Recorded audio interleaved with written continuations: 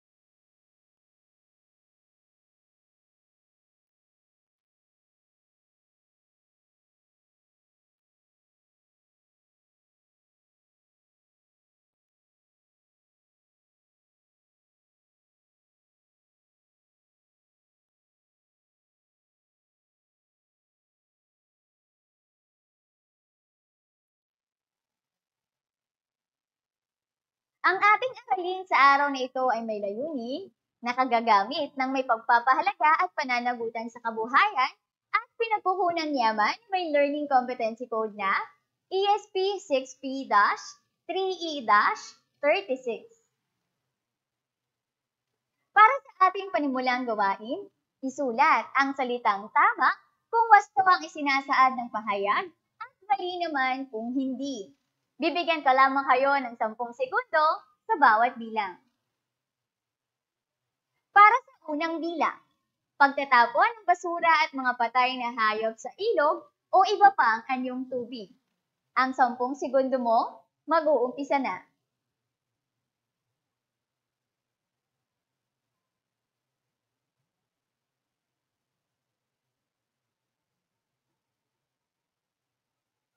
Ang sagot ay mali. Hindi mo dapat itapon ang anumang basura ang mga patay na hayop sa ilog dahil ito ay makasisira sa ating anyong tubig. Dumako tayo sa ikalawang bilang. Tungkulin ng bawat mamamayan na pangalagaan at ingatan ng mga likas na yaman. Ito ba ay tama o mali?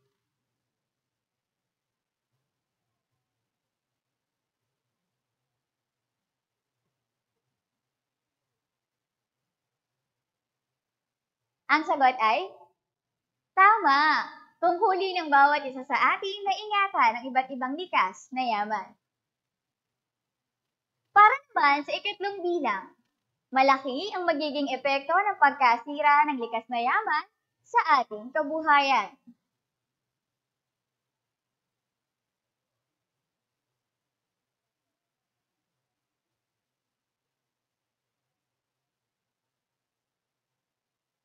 Ang sagot ay tama. Maraming mawawala ng pagkakakitaan kapag nasira ang ating likas na yaman.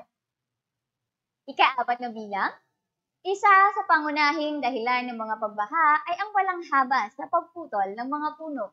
Ito ba ay tama o mali? I-comment mo na.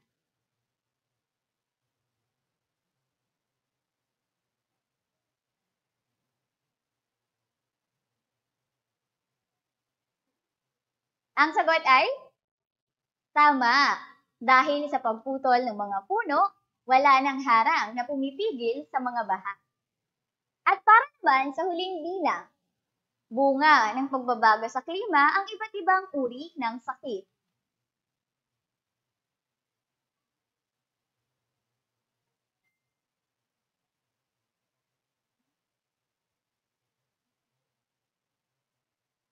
Ang sagot ay tama.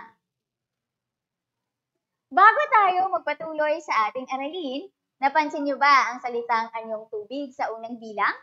Likas na yaman sa bilang dalawa at tatlo, pagputol ng mga puno sa bilang apat at pagbabago sa klima sa bilang lima. Alam niyo ba kung ano ang tinutukoy ng mga salitang ito? Samahan ninyo akong alamin kung ano ang kaugnayan ng mga salitang ito sa ating aralin sa panonood ng isang maikling balitang aking hatid na halaw sa Filipino Star noong Agosto 15, 2020. Unawaing mabuti ang maikling balita upang masagot ninyo ng buong husay ang susunod na gawain.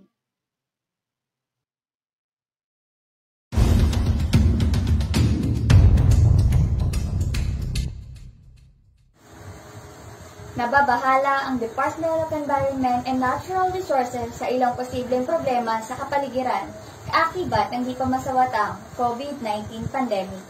Hinihikayat ng DENR ang madla na gawing tama ang pagtatapon ng mga face mask at gloves sa ating mga tahanan, hindi lamang para maiwasan ang paglaganap ng plastic waste, kundi upang maiwasan din ang pagkalat ng COVID-19. Ayon pa sa DENR, mas makabubuting gamitin na lang yung mga washable o pwedeng labhan kaysa mga disposable na itinatapon, gaya ng mga diapers at sanitary napkins. Ang mga personal protective equipment o PPE tulad ng disposable face mask at gloves ay naging basic needs dahil sa pandemya. Sa katunayan, ang produksyon ng mga PPE ay masyadong tumaas para matugunan ang pangangailangan sa panahong ito. Tinatayang nasa 129 na bilyong face mask at 65 bilyong gloves ang nagagamit kada buwan sa buong mundo. Ayon muli sa DENR, ang mga nagagamit na PPE ay maaaring magtaglay ng sari-saring sakit at impeksyon na maaaring maglikha ng isang malaking suliranin kung hindi maipaplano ang wastong pagtatapon nito. Maging dito sa ating bansa, ang hindi wastong pagtatapon na nagamit ng face mask at gloves ay dahilan sa pagkalat nito sa ating mga daluyang tubig, gaya ng kanal, creek, estero, ilog at dagat. Tunay naman na ang sitwasyong ito ay napakalaking dagok sa ating kapaligiran at likas na yaman. Ito rin ay tiyak na magdadala ng masamang epekto sa kalusugan ng mga tao, pati na rin sa mga hayop. Kaya naman, bilang isang responsableng mamamayan, ugaliin ang pagtatapon sa tamang lalagyan. Ako si Dane De La Cruz, nag-uulat.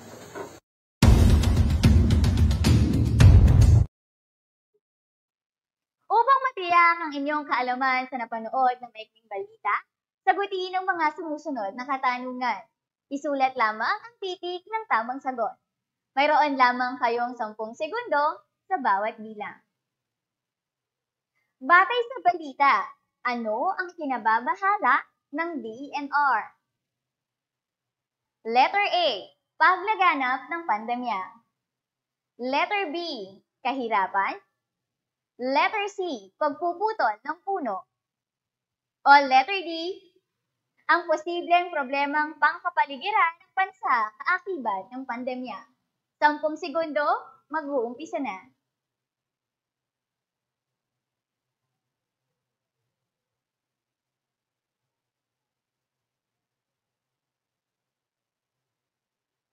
Ang sagot ay letter D ang posibleng problemang pangkapaligiran ng bansa kaakibat ng pandemya. Dumako tayo sa ikalawang bilang. Tinatayang ilang bilyong face masks at gloves ang nagagamit kada buwan? Letter A. 126 bilyong face masks at 65 bilyong gloves. Letter B. 129 bilyong face masks at 65 bilyong gloves. Letter C. 119 bilyong face masks at 65 bilyong gloves. O letter D. 139 bilyong face masks at 56 bilyong gloves.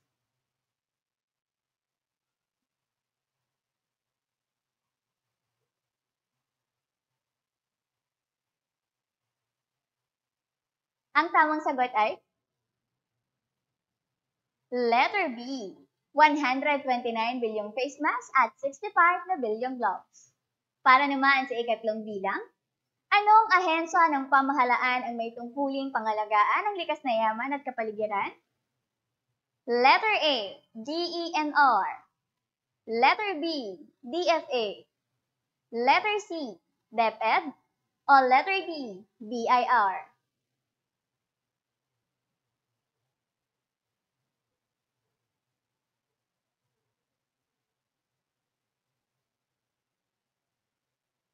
Ang sagot ay letter A, DENR.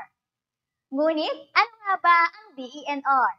Ang DENR o Department of Environment and Natural Resources ay isang ahensya ng gobyerno na ang layuni ay maprotektahan ang kalikasan mula sa kamay ng mga mapagsamantalang individual at korporasyon.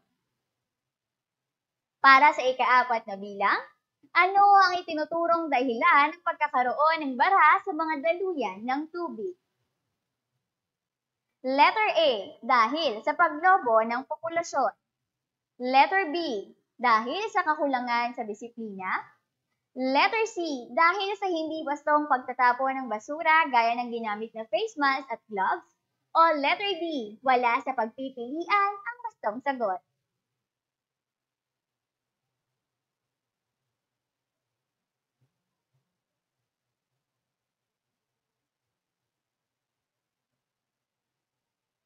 Ang tamang sagot ay letter C. Dahil sa hindi bastong pagtatapon ng basura, gaya ng ginamit na face mask at gloves. Para naman sa ating huling bilang, bilang isang mag-aaral, ano ang maitutulong mo upang mapangalagaan ang ating kapaligiran? Letter A, makiisa sa mga programang pangkapaligiran. Letter B, tumulong sa paglilinis ng estero, kanal at mga daluyan ng tubig. Letter C, maayos na pagtatapon ng basura. O letter D, lahat ng nabanggit.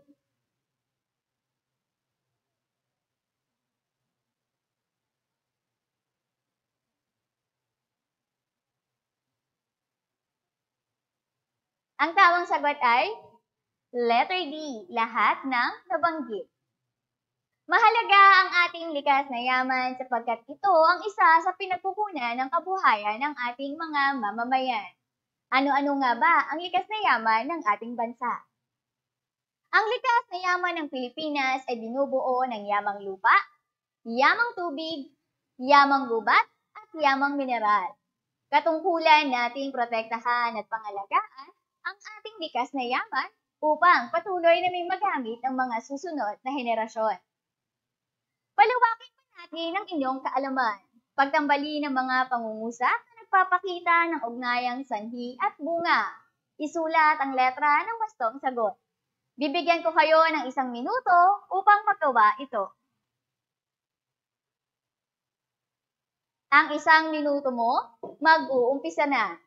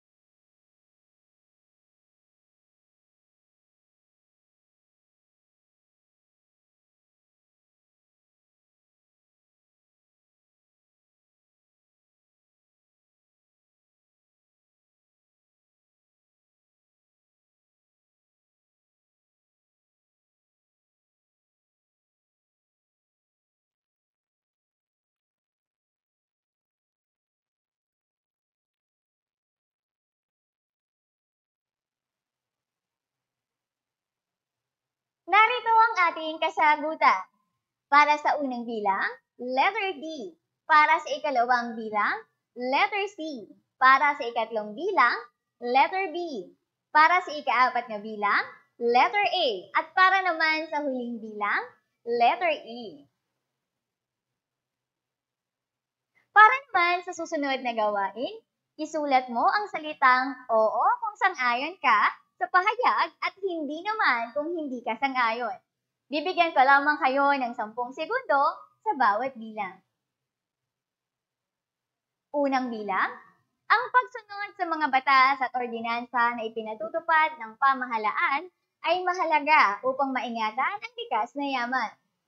Oo o hindi? I-comment mo na.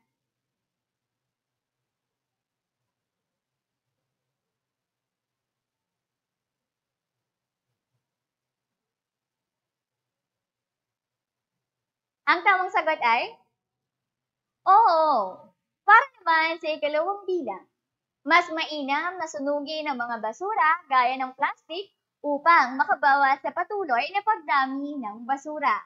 Oo o hindi.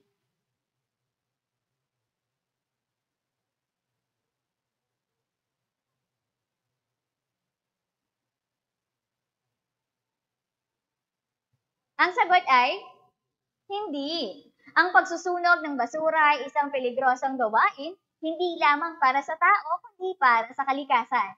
Ito ay naglalabas ng masamang elemento na nagdadala ng polusyon sa hangin na ating nilalanghap. Para naman sa ikatlong bilang, mahalaga ang pagtatanim ng mga puno upang maiwasan ang pagbaha. Oo o hindi?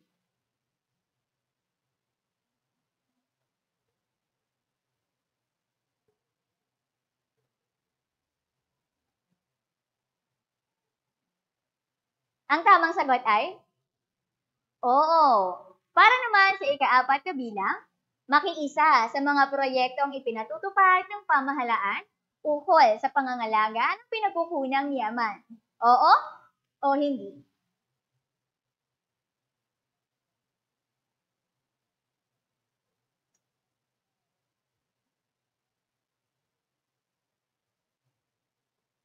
Ang tamang sagot ay, Oo. At para naman sa huling bilang, gumamit ng mga pinong-pinong lambat sa pangingisda upang marami ang maging huli.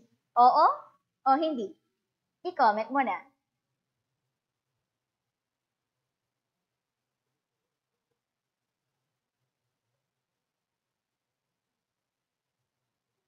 Ang tamang sagot ay, hindi. Maaaring sumama ang maliliit na isda kung pinong-pinong lambat ang ating gagamitin. Isa sa pangunahing pananagutan ng mamamayan ng pangangalaga sa ating likas na yaman. Malaki ang pakinabang natin mula rito sapagkat ito ang pangunahing pinagkukunan ng ilang mamamayan. Makabubuti ang pagkakaroon ng mataas na pagpapahalaga sa ating pinagkukunang yaman. Makatutulong ang pagtatanim ng puno upang maiwasan ang paglala ng baha. Mahalaga na ang bawat mamamayan ay maging responsable sa pagtatapon ng basura. Isabuhay at gawin natin ang 5 R's upang mapangalagaan ang likas na yaman. Sa inyong mga murang isipan, mahalaga na kayo ay lumahok at makiisa sa mga programang ipinatutupad ng pamahalaan upang higit na maingatan ang pangunahing pinagkukunang yaman. Batid kong nauunawaan na ninyo ang kahalagahan ng pag-iingat sa ating mga likas na yaman. Para sa ating huling gawain, ihanda na ang inyong ballpen, notebook at self-learning modules. Gagabayan ko kayo sa gawain ito, ngunit ang pagbabasto sa mga bilang na hindi mo masasagot ng tama ay gagawin sa inyong follow-up discussion kinabukasan. Basahin at unawain ang sumusunod na pangungusap. Isulat ang PN kung ang pangungusap ay nagpapakita ng pangangalaga sa pinagkukunang yaman at PS naman kung nagpapakita ito ng pagkasira sa pinagkukunang yaman. Sampung segundo ang nakalaan para sa iyo sa bawat bilang. Unang bilang, paggambala sa panahanan ng mga isda.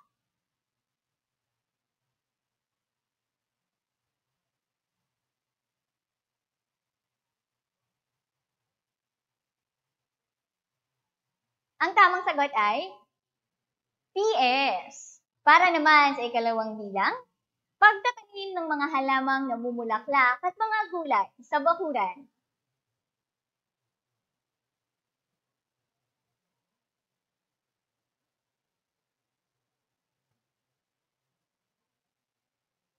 Ang sagot ay PN. Makakatulong ang pagtatanim sa pangangalaga sa ating mga likas na yaman. Para naman sa ikatlong bilang, pagbubukod-bukod ng basurang nabubulok sa mga hindi nabubulok.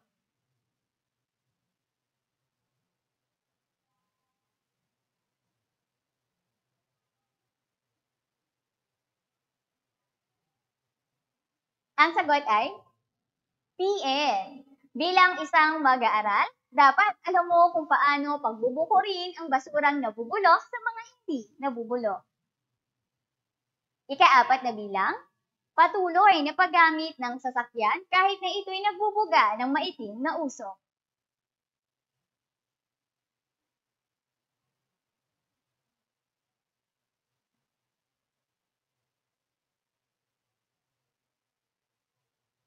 Ang sagot ay PS. Ang maitim na usok na inilalabas ng sasakyan ay magdudulot ng polusyon sa hangin. At para naman sa huling bilang, pagtataguyod ng sistemang recycle.